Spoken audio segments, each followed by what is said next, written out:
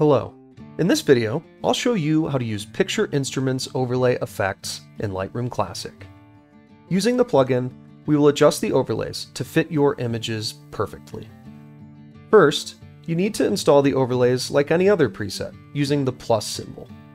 After that, you'll find them alphabetically in a folder under pi-ov and the name of the installed effects, in this case, lens flares. As you are used to when applying presets, you can preview the effects by simply hovering over them, and if you wish, apply them immediately. Be patient. The overlay XMPs contain a lot of information, and therefore load slower than normal presets. So far, so good.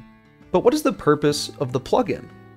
Our overlays are based on Lightroom brushes, and each Lightroom brush template is stretched or compressed to fit the image aspect ratio when applied in Lightroom by default.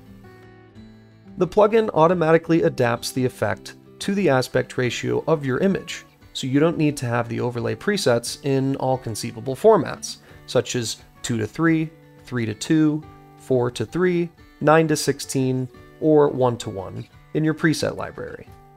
For easier horizontal and vertical adaptation of the overlays, they are all designed in a 1 to 1 aspect ratio.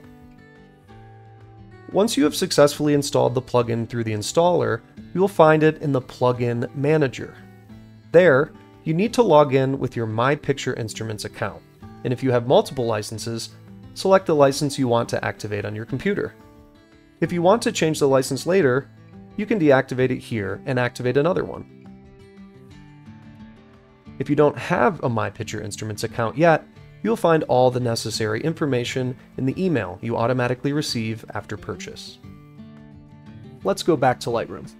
By the way, I recommend first choosing which effects suit your selected image best by previewing them on Hover and then opening the plugin.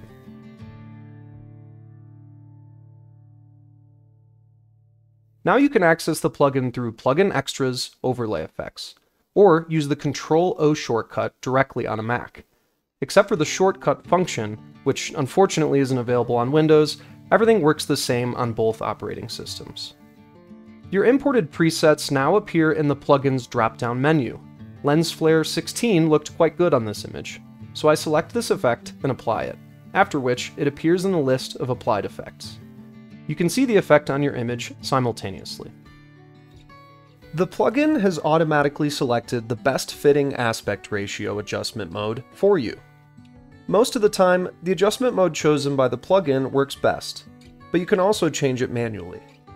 To help you understand what the different options do, I've prepared a few sketches for you. The gray area represents your image, and the red frame symbolizes how the square overlay is adapted.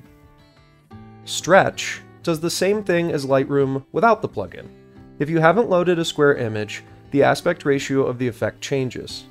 With all other modes, the aspect ratio of the overlay remains unchanged. Fit long side scales the overlay in aspect ratio to cover the entire image.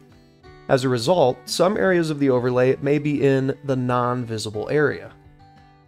Fit short side fits the overlay as best as possible into the image. To prevent seeing an abrupt cut off the edge of the light effect, the plugin mirrors the effect again at the cropped area and lets them fade out. You can control how soft the edge fades using the Feather Edges slider.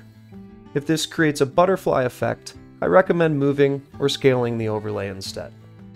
Fit Height scales the overlay to the height of your image, regardless of its format. Fit Width adjusts the overlay to the width of the image. You can align the overlay with the respective image edge using the arrow keys. Of course, you can only see changes if the effect does not already touch the image edge due to the adjustment mode.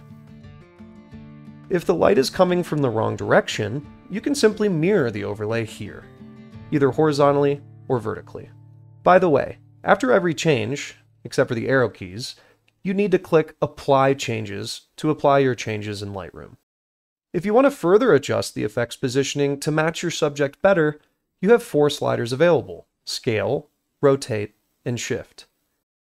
If the edge of the overlay becomes visible, the plugin mirrors the effect here as well, and you can soften the edge using feather edges.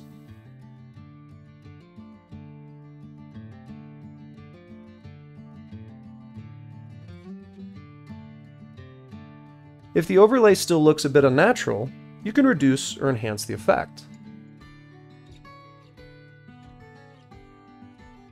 Depending on whether you prefer a warm look or want to keep the colors in the image more neutral, you can decrease the color temperature or retain the warm look of the overlay. If you want to combine multiple effects, you can simply select and add another overlay from the dropdown. It will appear here in the list, and you can adjust it separately. By the way, the effects are always mirrored at their brush handle. So, if they are no longer correctly aligned after mirroring, you can simply use the arrow keys. You always adjust the overlay that you last activated in the list. If you like the combination of several overlays and want to use them more often, you can save them using one of the S buttons. At a later time, you can apply the saved combination along with all settings whenever you want and even adjust them again.